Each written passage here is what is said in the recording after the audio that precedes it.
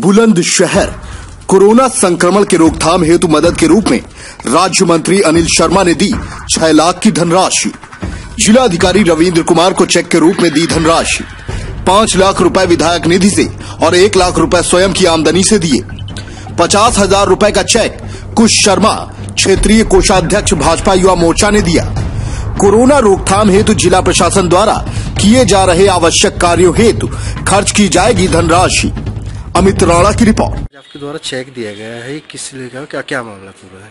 ये अभी आप देख रहे हैं भारतवर्ष में कोविड नाइन्टीन का जो प्रकोप है और जिस तरीके से माननीय मुख्यमंत्री जी ने बहुत बड़ी घोषणाएँ की हैं मैं समझता हूँ कि ये एक अ, उनकी संवेदनशीलता है उत्तर प्रदेश के नागरिक के प्रति कि जो दिहाड़ी वाला हमारा मजदूर है जो श्रमिक है उसको जो नुकसान है उसको भी उत्तर प्रदेश सरकार आर्थिक सहायता देगी।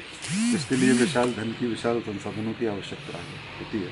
तो इसके लिए हम लोगों ने इसमें एक बहुत छोटा सा सहयोग एक बहुत बड़े हवन में एक छोटा सा एक हमने आहुति देने का काम किया।